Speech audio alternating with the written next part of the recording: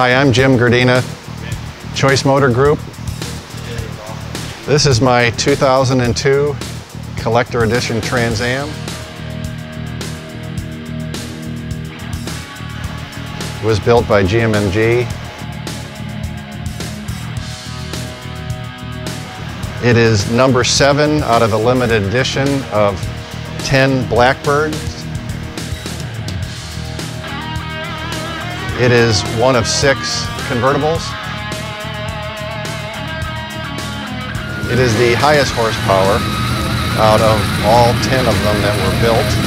It's got the large displacement 454 cubic inch motor and several other modifications.